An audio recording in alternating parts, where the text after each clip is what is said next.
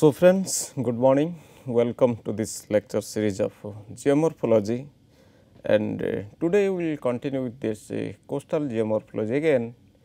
And if you remember our last class we are talking something about this coastal restoration and this uh, bar barriers. So, we found that the barriers are the product of last 5000 to 6000 years in the late quaternary and uh, the barriers they are mostly made up of sand and the sand it's migrates from its position and with time old barriers are vanished and new barriers are formed and uh, if there is no continuous sand supply to these barriers. So, with time some of the barriers will be vanished completely and uh, this coastal sand flats or these uh, sand seats, they are divided into segments of thousands of kilometer long sorry hundreds kilometers of long and uh, kilometers of width and height of about some meters. And each segment is independent though, but at certain cases there are transitions occur that means sand from one sand sheet can be transferred to other one at this transition zone. And for each sand sheet we have source either by this offshore current or it is from this coastal cliff erosion or due to river and they migrate by these littoral currents and uh, due to this wind action or the aeolian action and finally, where these coastal inlets are there tidal inlets are there mostly the sand is lost there and it moves towards the deep sea and uh, there is a, null point which is dividing the sand transportation zone or sand accumulation zone beyond which sand is not transported and again it due to wave action it may comes to the um, coastal zone. And this is all about our the uh, coastal sand management systems. So, today we are going to discuss about this modern coastal conservation techniques, because in the last class we are discussing about this complete destroying of these coastal barriers. So, that means we concluded there until unless we allow the sand to renew either due to aeolian process, due to fluvial process or the marine process, this coastal barrier will be totally vanished. And it has been noticed that uh, nowadays though these coastal barriers, many of these coastal barriers they were formed during 5000 to 6000 years back but many of them are getting eroded. This is due to not continuous sand supply. So, now the question arises why the continuous sand supply is not being taken place nowadays which was occurring 5000 to 6000 years back or 10000 years back. So, this is one of these point the, the anthropogenic activities. Nowadays due to developmental projects we are carrying out in vast scale. So, part of this coast we have concretized. So, this due to this concretized that means we are burying this natural sand source. So, that this sand is not continuously being supplied to the system. That is why this system or these coastal barriers are vanishing. So, the modern coastal conservation techniques that includes calculations of the sand budget for each section of the barrier coast. So, this is important calculation of this sand budgets. So, that means suppose we have a sand sheet in a particular coast. So, how much sand is there? How much sand is in mobile condition which is in permanent con condition below the sea level that is it matters to us. It matters to us how much sand is mobile that means how much sand is renewing there it is uh, go, going out of this barrier system it is coming into the barrier system. So, that budget sand budget, budget has to be calculated. So, with that calculation now we can backtrack it that how much sand we can supply with this much exposure of this coast, how much sand we are producing from the cliff, how much sand we are producing from this river and how much sand we are renewing from this uh, offshore currents. So, this total calculation has to be carried out so that we can restore our this uh, sand barriers to larger extent. To correct negative budgets, additional sand is provided at the off current end of the each littoral cell. So, here it is important. Suppose we are we want to restore this sand uh, this barrier naturally. So, that means we have to supply the sand either artificially or naturally. So, artificial supply of sand it is not feasible to restore the natural systems. So, that in an artificial way we will contribute the sand to this natural system. So, that due to some transportation agent that sand will be contributed naturally to this barriers. So, in this way what we are doing nowadays we uh, dredge out the sand from this from one point and we put in the littoral current zone. So, that through this natural littoral currents the sand is redistributed and due to this redistribution the sand is automatically coming or supplied to this natural barrier system. So, there are uh, few localities or few points where this uh, modern coastal conservation techniques is applied. First is this communities, these communities which are uh, staying near to the coast. Then the coral reefs, coral reef is one component near to this uh, coast. Then water quality of the coast should be as same as it is. Then protect areas, the area should be protected. Then estuaries and waterland that is near to the coast that has to be restored, then historic site that has to be restored. So, that means these different sites along these coasts that has to be re restored in a natural process. So, that is the main motto of this class today. So, now this quantities of sand we are talking something about the sand budget of the system. So, this quantity is measured in thousands cube meter per day. So, this quantity has to be measured and can be provided only by dredging out of sand from the ocean floor well to seaward of the null line. Why? Because we know in the last class we were uh, we can remember that the null line or the null point null point in a profile or null line along this uh, coast parallel to the coast this is a imaginary line which defines either sand has to move seaward or is to move coastward. So, that null line and we know along this null line there is a breaker zone and then this null line is lying just uh, after the breaking breaker zone where this sand is under suspension condition many times because due to high shearing effect of these waves so breaking effect of this wave with the uh, bottom. So, that means whatever the sand is there we are dredging out sand and we are putting it around this null line well seaward of the null line so that the breakers the breaking waves they can migrate this and they can transport those sands towards the coast and can redistribute along this uh, littoral current to these natural barriers. So, the post glacial rise of sea level seems to have frequently generating incipient barriers that were subsequently overtopped and bypassed and are now relict submarine sand ridges. So, what is what does it mean? The post glacial rise of sea level seems to have frequently generated incipient barriers. Why? Because the rise of sea level post glacial, post glacial means we have humid climate, we have warm climate. So, warm and humid climate that means there are number of rivers they are active.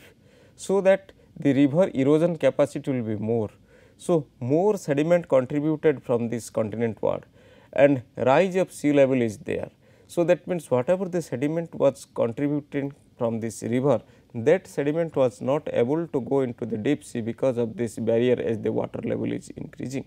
So, that means those sediment remain along this coast or near the, the coast zone and form these bars. So, they are subsequently overtopped and bypassed and are now relict submarine sand ridges. So, nowadays they are somewhat submerged there submerged and they are forming these uh, uh, relict sand ridges. So, relict sand ridges some of them are stabilized sand ridges and some of them they are uh, uh, active nowadays it is aeolian activities. So, those coasts which are emerged nowadays. So, in that case this um, sandbars they are being reworked by this aeolian system and they are active, but some of these sand ridges they are under submerged conditions and they are the relict one that was formed during this post glacial sea level rise. If these ridges are true relict and not part of an as yet known modern shelf sediment transport system, the sand then can safely be used to restore and mainly modern barriers and other eroding coast. This is important to understand for this coastal management system, because we have sand ridges which were formed during this post glacial rise of the sea level and they are relict one. For example, if you see this figure here some of these sand ridges you see they are under submergence, they are sub submerged sand ridges are there. So, those sub sand ridges they are not contributing actively to the modern sand ridges. So, that in an effective way we can mine those sand ridges and we can first identify those sand ridges which are in under submerged condition which are not contributing to the modern day sand, sand ridges. So, that we can utilize those unused sand and we can mine those sand and we will put in this zone which is the null area or this null line. So, that this littoral current or the wave and littoral current they can contribute those sand for formation of this modern sand ridges. So, this is an effective way of coastal management system. So, whatever so far we are discussing we are discussing about this uh, sandy source, how the sand can be managed, how this uh, sand is uh, supplied to the system and uh, how this uh, uh, sand bars or the barriers can be restored naturally or artificially like that.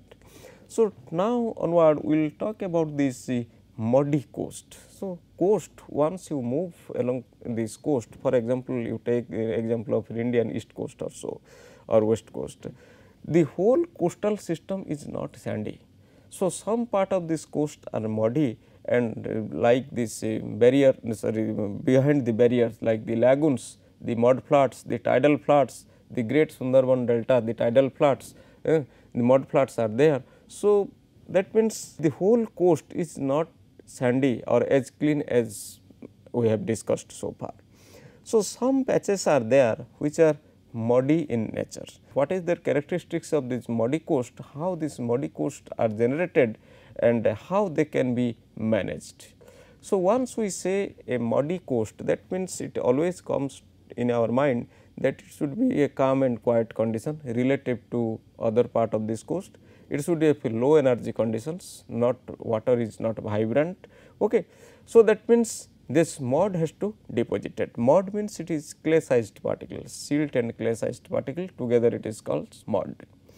So, this clay sized and silt sized particle settle down slowly from suspend, suspension as they carried out by littoral currents and suspended loads. So, the suspension of clay it take lots of time. We have Stokes law of separation of sand silt clay in laboratory. So, you can see there that this clay takes maximum time to settle down in a particular temperature conditions. So, here the sea water is unlike river or fine sediment flocculate into loose large aggregates and settle out suspension in quiet water. So, we have clay particles, clay are charged particles. Hmm. So, these are together combined and finally, size increase their size and flocculates and uh, they settle down at the bottom of the sediment. If you see here this is the mud flat now you see here this area or this one this is open sea and it is mostly it is sand. If here this tide tidal action is there. So, you are getting this herringbone type of cross beddings or cross stratification. So, this is dominated by tide and this is this green area, this green area are the mud flats. So, if you see here within this mud flats these are the bioturbated zones and this mud within that mud there are lenses of sand. So, some flaser bedding is there, some lenticular bedding is there. So, here these are we are find we are getting some lenticles of sand within this uh, mud. So, it is lenticular bedding is there. So, this gray color this is totally representing this mud and this is sand and these are bioturbated zones and mud flats they are very good for uh, biological growth. Uh, some animals their particular animals they are there they are fed on this mud they are fed on the organic matter associated with the mud. Okay. So, that is why in this mud plots not only this mechanical system this settling down of these uh, clay particles that contribute for uh, aggradation sediment deposition, but also the organic uh, influence is there.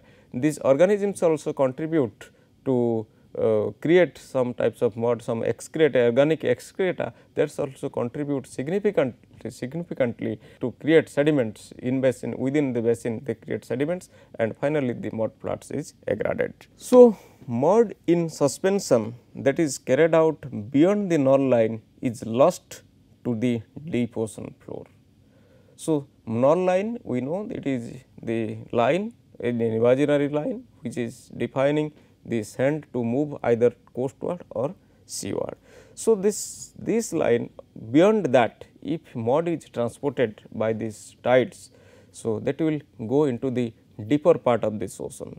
But the deeper part of the ocean to settle down mud it takes hundreds of years because of this suppose for example, if we take 4.5 kilometer is the general depth of the ocean for example.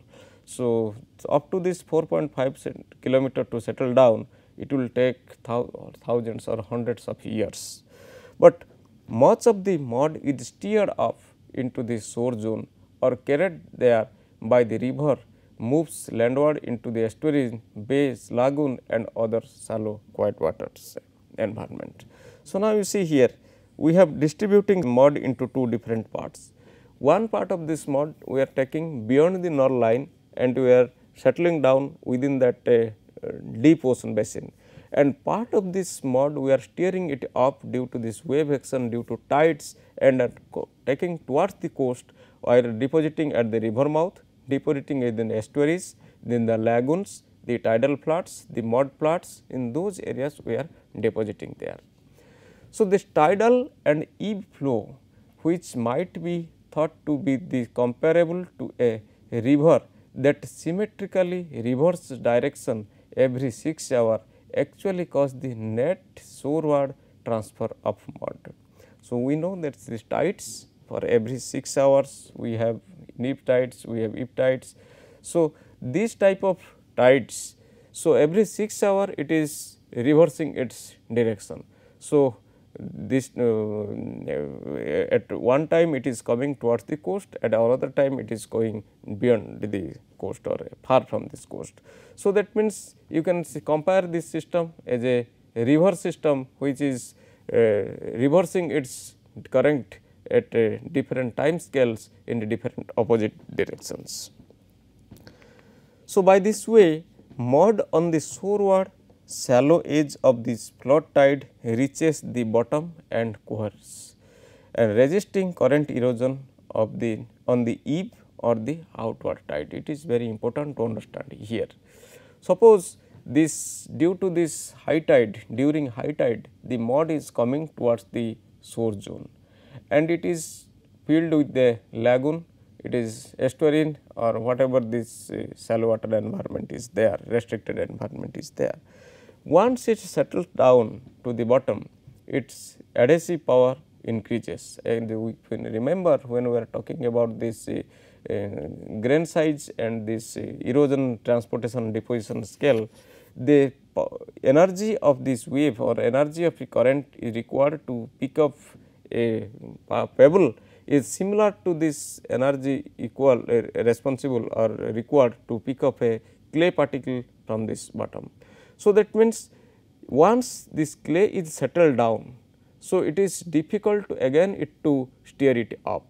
So, that is why that that is why at the shallow levels at these uh, lagoons and these estuaries once the clay is settled down at the bottom they remain there. So, once they remain there this clay thickness gradually increases. So, that is why once it settle down it coheres and it resisting current erosion of this ebb or outward tides. So, here tidal floods if you see tidal floods are formed when mud is deposited by tides or rivers. Tidal floods are the border of lagoons and estuaries of the environment. Tidal floods are areas of low relief caught by meandering tidal channel. Laminated or rippled clay, silt and fine sand may be deposited in the tidal flood. These are the characteristics of tidal flood that mostly we are getting the fine grained material silt and clay. Similarly, in this figure if you see here the within the coastal inlets tidal inlet this tide during high tide the water is here and finally, this clay has to settle down or the mud has to settle down here. Once it is settling at this bottom that means a adhesive power it coheres. So, that this power increases and due to this outward tide or the, in the low tide condition that remains there without steering up. But at the same time if you are moving towards this coast or outward to the coast or to the deep sea level these clay are not settled down. So, that again during high tide that will again come to this uh, coastal site and finally settle down. So, that is why the with more and more tide the clay content the mud content at the tidal flat at this lagoons and finally increases. Now, here some of this analysis by Camp it is settling velocity analysis it will say here we have different size classes gravel, coarse sand, fine sand, silt, clay and colloids and if you see here this colloids and this clay to settle down up to 1 feet.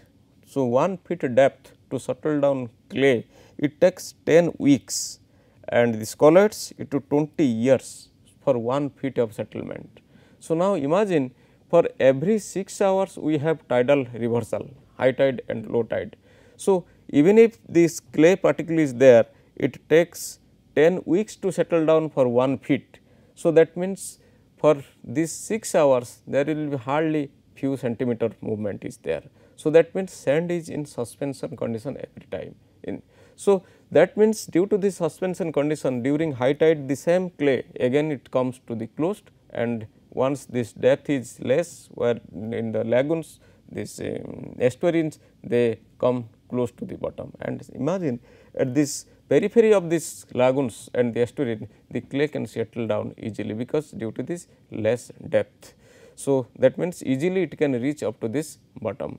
So, that is why clay will be remain always in the suspension mode and it will settle down near to these uh, lagoons or in the lagoon and these uh, estuaries rather than in the deep sea conditions. So, here however, the end of this ebb tide mud that moves seaward and settles to an equal depth that has not yet reached at the bottom.